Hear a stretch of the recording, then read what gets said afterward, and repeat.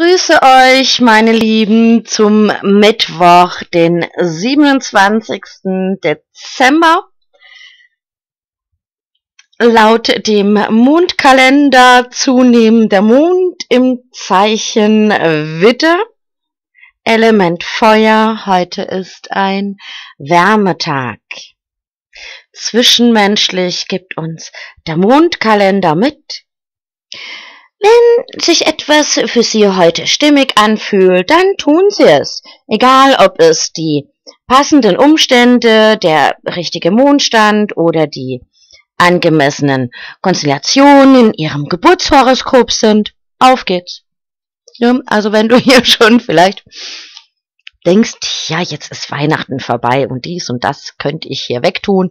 Meistens ist es ja das Verpackungsmaterial, welche Mülltonne stopft man das noch, wo ist denn noch ein bisschen Platz? Ja. Und hier informativ aus dem Mondkalender, wenn wir Vorstellungen von der Erde als eine flachen Scheibe umgeben von Meer hören und sich dann darüber noch der Himmel wie eine riesige Käseglocke spannen soll, sind wir schnell bei der Hand mit der Bemerkung vom finsteren Mittelalter. Dabei ist die Erkenntnis, dass wir auf der Erdkugel leben, viel älter. Bereits im sechsten Jahrhundert vor Christi ging der griechische Philosoph Pythagoras von dieser Erkenntnis aus. Die Beobachtung, als ein sich auf dem Ozean entfernendes Schiff zuerst mit dem Rumpf unter dem Horizont verschwindet, seine Segel jedoch noch länger sichtbar sind, waren ein Hinweis für diese dann wieder für viele Jahrhunderte vergessene Erkenntnis. Schau, schau. Von dem haben wir schon viel gehört, aber was er so wirklich getan hat, ähm, wenn man sich nicht mit ihm beschäftigt. okay, wir haben wieder hier drei Legungen. Und ich beginne mit den Affirmationen. Klare, schnelle und vielleicht auch ungewöhnliche Entscheidungen bringen mich jetzt voran. Ich setze sie sogleich in Taten um. Auch Abschied und Loslassen bereichern mein Leben.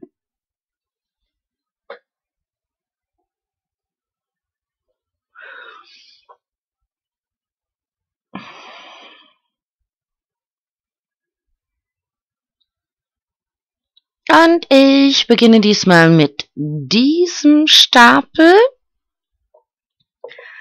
Und die Karte aus Karte. Besorge dir zwei Zigaretten und versuche zeitgleich eine Zigarette zwischen Oberlippe und Nase einzuklemmen, die andere zwischen Unterlippe und Kinn. Fordere mindestens zwei andere Gäste auf, dir gleich zu tun und rufe alle allgemeine, rufe eine allgemeine Challenge aus.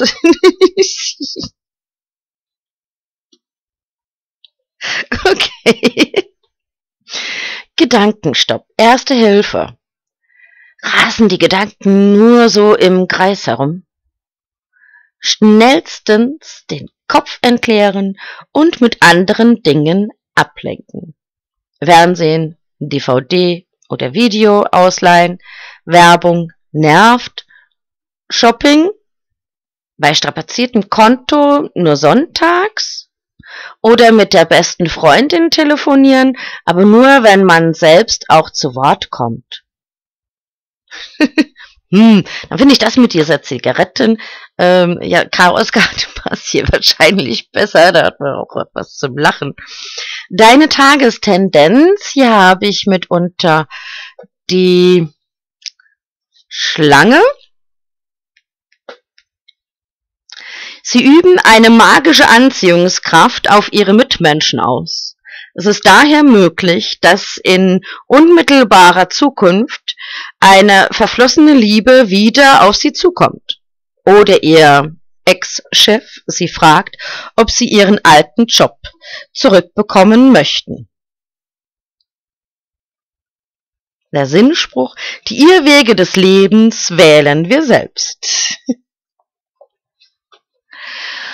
Und jetzt nehme ich diesen Stapel, eine Chaoskarte, stelle dich nach einem Toilettenbesuch in die Mitte des Raums und verkünde die Hiobsbotschaft, eine wichtige Mitteilung für alle Partygäste. Ich habe die Toilette unbenutzbar gemacht. Keine weiteren Fragen bitte. Vielen Dank für euer Verständnis.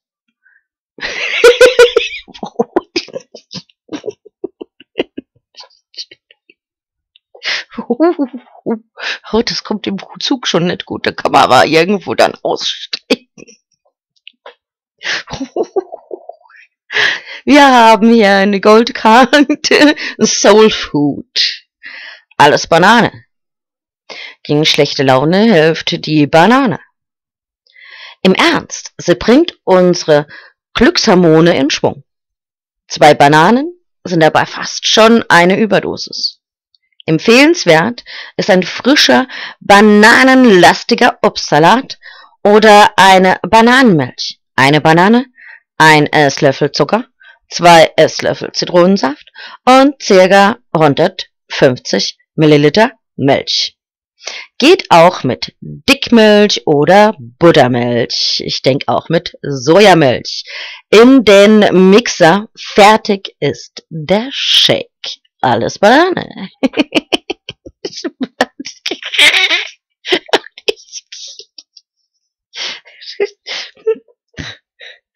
ja, okay, die Tagestendenz.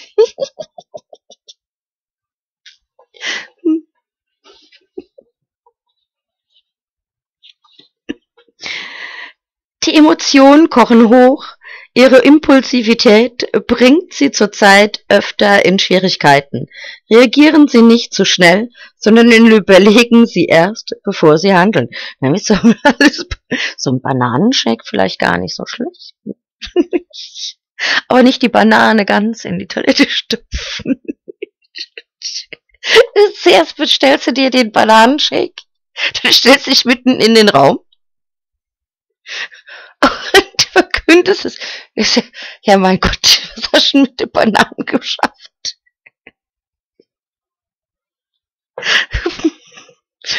Okay, wir gehen zum nächsten Stapel. Chaoskarte. Biete im Laufe des Abends fünf unterschiedlichen Personen fünf Minuten Nackenmassage für einen kleinen Obulus an. Bediene dich deiner gesamten Überredungskunst, um die Massage an den Mann zu bringen.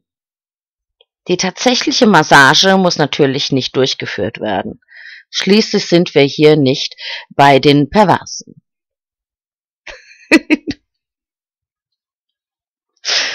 okay, also ich würde mich schon über eine Nackenmassage freuen. Kommt aber immer auch drauf an, von wem. Ne?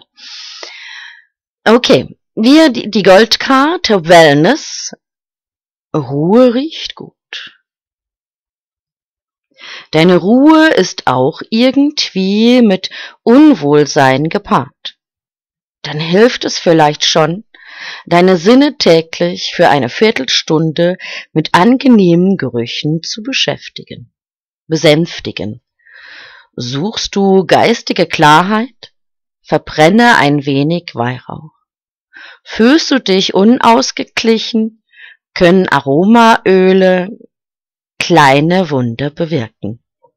Und wenn's nur ums allgemeine Wohlbefinden geht, hilft schon ein frühlingshaftes Potpourri.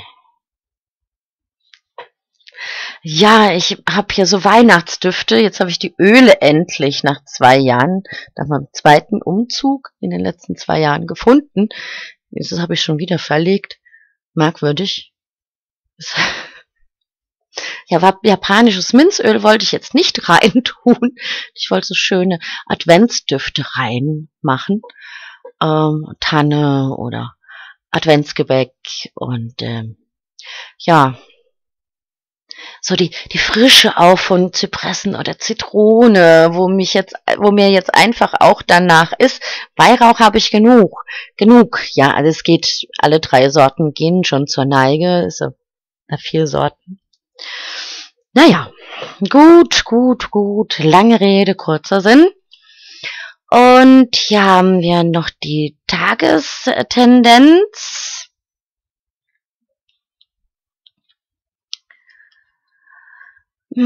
Sie tauchen ab, ziehen sich zurück, um neue Erkenntnisse zuzulassen, weil sie die Welt einfach mit anderen Augen sehen und daran arbeiten, ihren Horizont zu erweitern. Kann es sein, dass sie missverstanden werden? In Kürze haben sie eine wunderbare Idee. So, und wir kommen zu den Jokerkarten das Glücksrad dreht sich.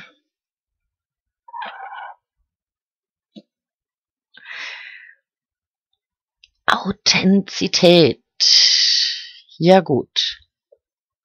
Authentizität gibt Kraft und verbindet mit dem Universum.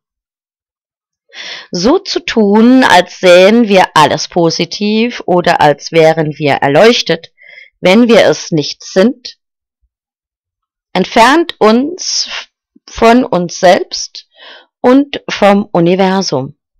Akzeptiere liebevoll deinen Entwicklungsstand.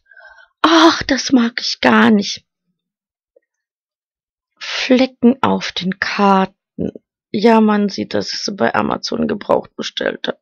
Ich hätte, ich wollte keine 19 Euro bezahlen. Naja, gut, es sieht ganz nach Blut aus. Äh, oh, Schokolade.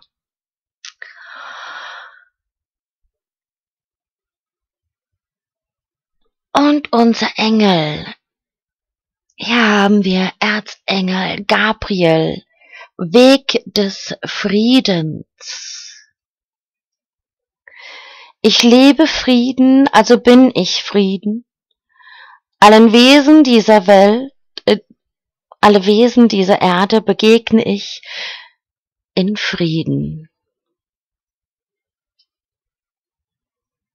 Und unser nächster Engel, hier haben wir eine Trumpfkarte. Ändere dein Leben. Erzengel Samuel. Eine plötzliche Enthüllung, die Freiheit anbietet. Schiebe die Dinge nicht länger auf. Nimm die Gelegenheit an, die Veränderungen dir bringen.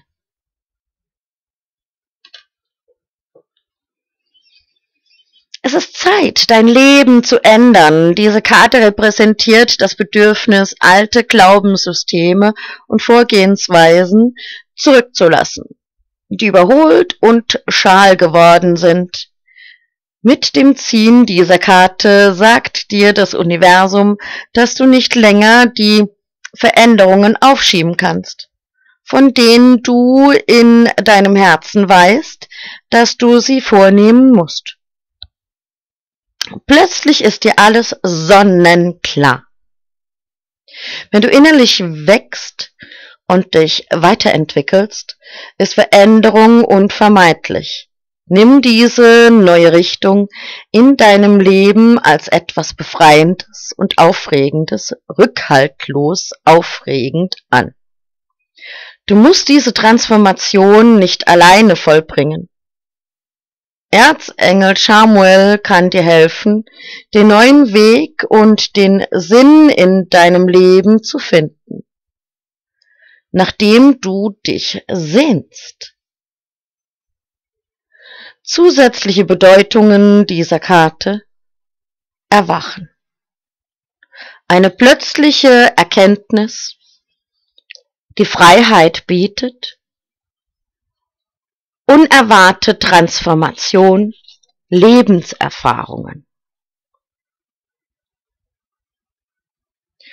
Von Erzengel Samuel wird gesagt, dass er die Welt von einem sehr übergeordneten Blickwinkel aus betrachtet. Dies verleiht ihm die Fähigkeit, Gelegenheiten zu sehen, die dir vielleicht entgehen. Bitte Erzengel Samuel um Hilfe, wann immer du nach etwas suchst, egal was es ist. Mit seiner ausgezeichneten himmlischen Vision kann er klar den Weg finden, der dein Leben in eine neue und aufregende Richtung bringt.